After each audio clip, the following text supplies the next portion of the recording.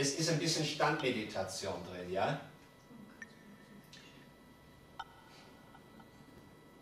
Gut, jetzt kannst du die Idee weicher werden, aber so sehr gut. Gut.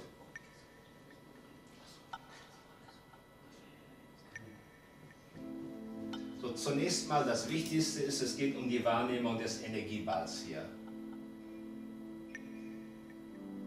So, das ist erstmal das Wichtigste. Und später geht es um die Wahrnehmung des Weges. So, und noch später geht es um die Wahrnehmung dieser Position. So, und alles ist ein unterschiedlicher. Du schiebst einfach waagrecht vor. Dann wendest du, in der letzten Hälfte habe ich dir gesagt, ja. So, und jetzt guckst du, dass du 10 cm höher bist. So richtest du es ein, dass du 10 cm höher kommst. Und dann gehst du über die linke. So, dann mal die Nuancen durchspielen, dass du da Sicherheit gewinnst. Sicherheit gewinnst du, wenn du so machst. Mach mal mit mir.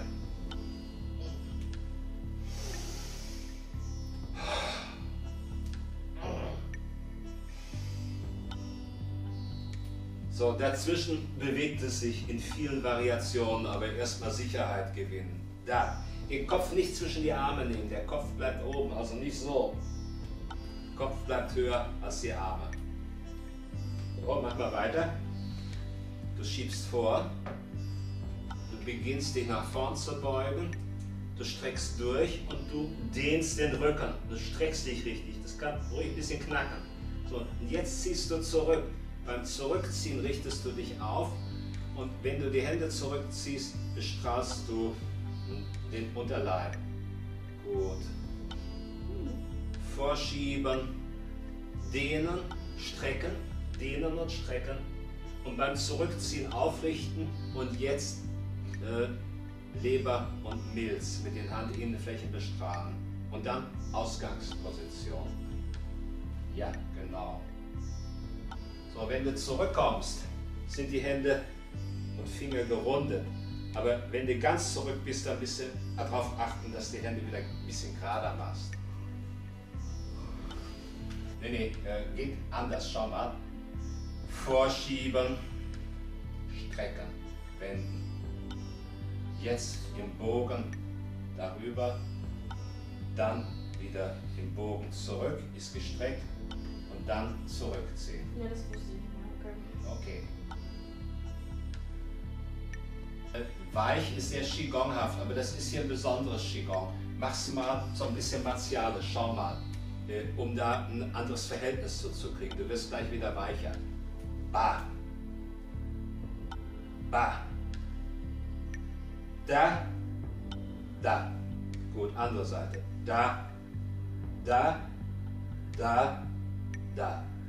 Vor, rüber, nach vorne, zurück. Vor, rüber, zurück, zurück. So, und jetzt machst du es wieder anders. Ja. Gut. Jetzt machst du es noch ein bisschen weicher wieder. Dann. Vorschieben, wenden. Ab der zweiten Hälfte okay. des Weges komm runter. Baumfundament wird unten schwer. Weil wenn du zu früh mit sowas anfängst, dann verwischt die Übung irgendwann. Wenn du sehr sicher in der Übung bist, hast du ein paar Wochen, ein paar Monate gemacht, dann kannst du das alles machen, aber erstmal sicher im Ablauf sein. Ja, äh, erstmal äh, nicht gleich ineinander übergehen. Wenn du jetzt zurückkommst, warte erstmal. Also okay. Hm? zu gestreckt die Position runter.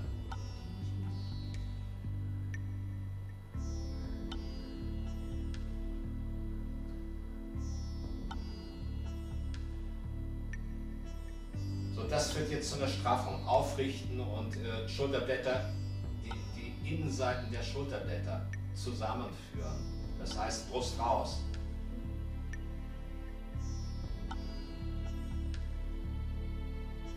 Und jetzt die Fingerwarte erstmal so stehen, jetzt ein bisschen strecken die Hände. So und ruhig mal aufrichten erstmal. Und, und übertrieben aufgerichtet stehen. Dass du da mal spürst, ah, dass sich da was tut. So, hier, hier stehst du ein bisschen straff, ja? Und jetzt gehst du ins Lockere, wenn du forschst. Hier im Hohlkreuz oder? Nein, hier oben. Eben. So, oben. Mhm. Gut, jetzt schiebst du vor. Stell dir vor, du steckst voll Gefühl und du hast keine andere Ausdrucksmöglichkeit die ganze Woche lang als dein Gefühl in dieser Bewegung anderen mitzuteilen. Du hast ein wunderbares Gefühl, du hast eine Botschaft an die Menschheit, du hast keine andere Geste, du kannst dieses super Gefühl nur mit dieser Geste der Menschheit vermitteln. Komm langsamer. Ja. Gut. So, dann versuch mal äh, mit mir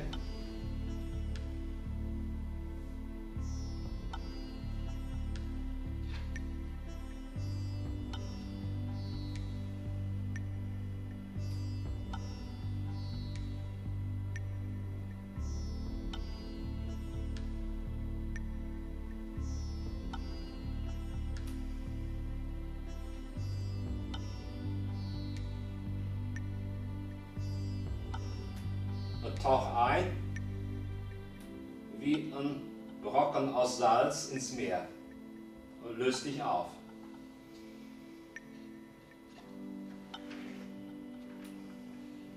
Gut, Hände über Boden. Bloß dann schiebst du so vor, um gegen Wasser zu drücken, ja? Nicht so. Weil du wirst nicht zurückgeworfen, wenn du so reinschaust, bist du zurückgeworfen, wenn du so gegen Also ich muss jetzt so. Auch mal, also weicher, fließender, Kaugummi-mäßiger werden noch. Schau mal. Die Bewegung ist richtig, die ist verstanden, aber jetzt geht es noch ums Schmelzen. Das ist die nächste höhere Stufe, das Schmelzen, das Einswerden mit der Umgebung. Du wirst zur Luft und die Luft wird zu dir. All die Atome um dich herum, die werden zu einem Teil von dir. Und die Atome, die dich ausmachen, werden zum Teil der Umgebung. Also, äh, ich war irgendwann mal, hatte so ein Buch gelesen von einem Meister, bin weit gefahren, habe dann Seminar besucht, waren oh, vielleicht zwei Leute mehr, als wir hier sind. Und äh, super Buch. Und äh, ich war also so ein bisschen aufgeregt. Ne? Mhm. Äh, die große Prüfung. Und dann standen wir da so im Kreis und dann kam er als erstes zu mir, guckt sich sehr interessiert und sehr genau an, was ich da mache. War auch diese Übung dabei, ja? Und dann sagt er zu mir, sehr gut. Ah, ich war glücklich.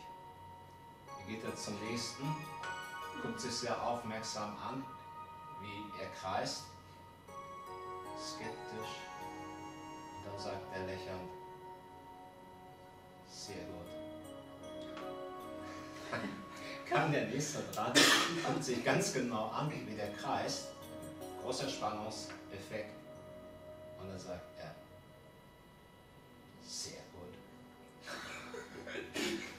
Also das ist die ganze Runde, acht Leute. Ne? Also, die waren dann alle hochmotiviert. also, ich, also ich, ich habe dann schnell festgestellt, dass ich mich selbst kritisieren musste. okay, die auch hier jetzt erstmal aus dem Tai Chi raus, die beiden Positionen erstmal. Das hier, mit Ellbogen ein bisschen, ja so, okay. Fingerspitzen sind dicht voneinander, äh, Finger zeigen zueinander, gut. So, und dann mal die Position. So, das sind die Wendepunkte. Da kommst du hin, jeweils. Und daraus geht es hervor.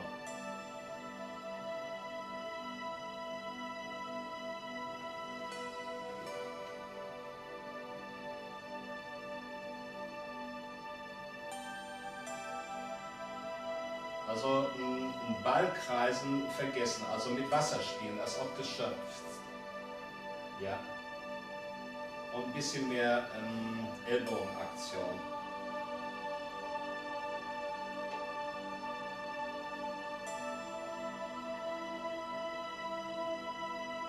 Ja, also nicht, dass da so eine, so eine Situation kommt, dass eine Hand höher ist. Äh, Einfluss beim Heben nicht schneller werden. Gleichmäßiger Fluss.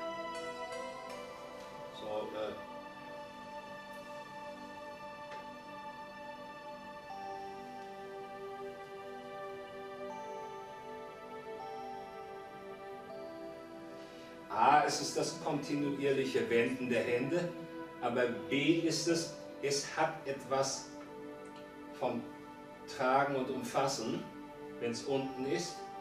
Schaut mal, ich setze mal die Fingerkuppen aufeinander, Mittelfingerkuppen aufeinander. Das ist so eine Eselsbrücke. Dann mal andersrum. Ja, gut. Und gleich hoch immer, nicht nach dem Wenden, dass eine höher ist als die andere gleich hoch.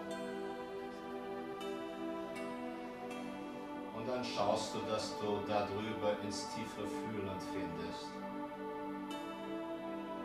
Wenn du unten bist, machst du eine kleine Pause und dann die andere Seite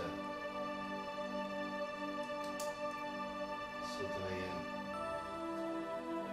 Also du hast eine Vorstellung vom Kreis und äh, beim Üben orientierst dich immer an deiner Vision vom Kreis.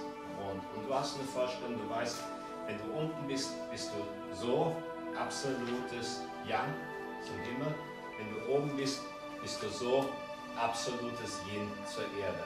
Und dazwischen wendest du kontinuierlich. Das ist die Herausforderung. Und die nächste. Es geht darum, dass der Höhenunterschied in der Bewegung nicht so groß ist. Schau mal, wenn du so machst, dann hast du einen Höhenunterschied von 30, 35 Zentimetern. Äh, du bringst zunächst erstmal gar keinen Höhenunterschied rein. Mhm. So, wenn du jetzt eine junge Truppe hast von Leuten, die Anfänger sind, dann kannst du die erstmal, damit die beschäftigt sind, kannst du denen was von Vorstellung erzählen. Aber du selbst musst wissen, dass der höhere Weg ohne Vorstellung ist. Ja. Gut durch. Hände über den Boden. Und verwurzeln, erden. Es kann sein, dass euch jemand anders was anderes erzählt, aber dafür bin ich ich, ne? ich bin Individuum. Und das ist That's my way. Und wir, wir wissen ja, das ist eine hochbrisante Geschichte, richtig, falsch, also bist, machst mal eine Pause. Schau mal, erkennst du einen Unterschied? Ich übertreibe mal, wie du es machst. So, und jetzt mache ich es, wie ich es mache. Also die Arme nicht so nach vorne gestreckt, du bist dichter am Körper.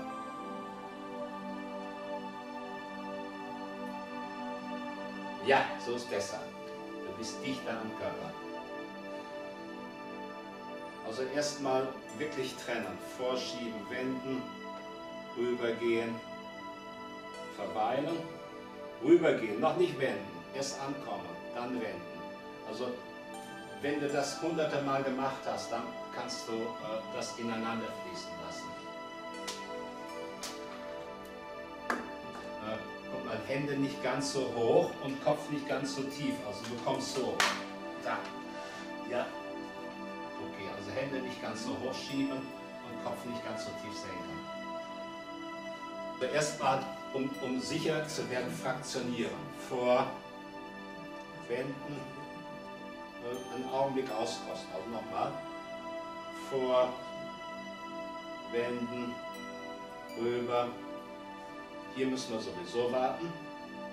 Zurück, zurückwenden.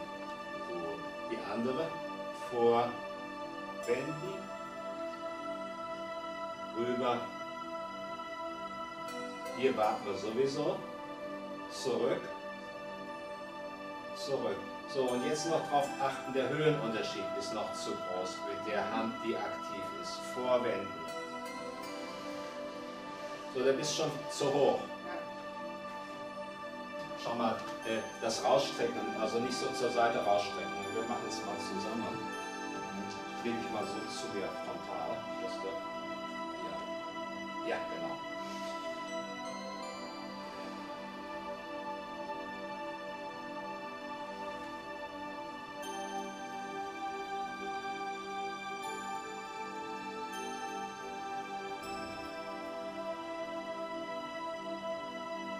Arme werden nie länger.